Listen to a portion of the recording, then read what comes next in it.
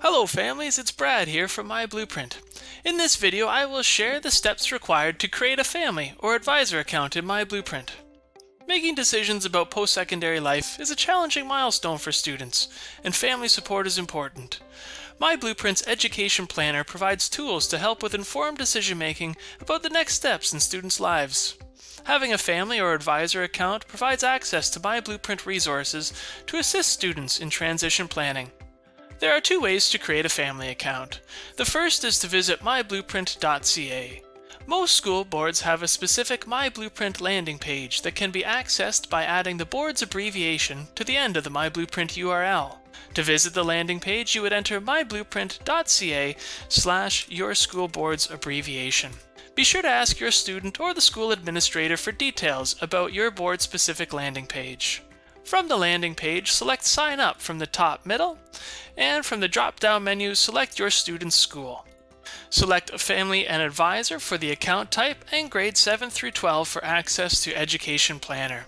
Enter personal information including name, email, and create a password. Once these sign up steps are complete, you will receive an account verification and login steps to your email. The second way to create family account access is for your student to share linked access from their account. To begin, have your student log in to their My Blueprint account. From the student dashboard, select the personal settings from the top right hand corner indicated by their initials. In the settings menu, select My Links.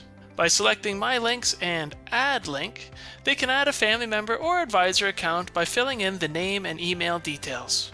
The family member will receive an email with linked access. When you log in to your family account, you will see a feed of your students' activities in My Blueprint. You will be able to comment and provide feedback on their recent activities.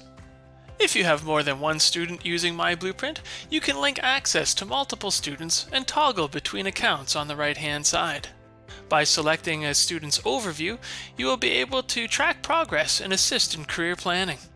Here you will see a list of the different features and the progress that your student has made. You can also select the eye icon to view the student's account directly. One recommendation for interacting with your student's account is to view your student's progress in portfolios. Portfolios are a key feature for students to document learning experiences and career planning. You can provide meaningful and timely feedback on your students' posts. In addition to reviewing your student's progress, each family account comes equipped with a Student View feature. Student View allows you to interact and explore features within Education Planner independent of your student's account. With convenient access to personalized information, families can use My Blueprint to help students make the most informed choices about the next steps in education and career pathways. Thank you for viewing.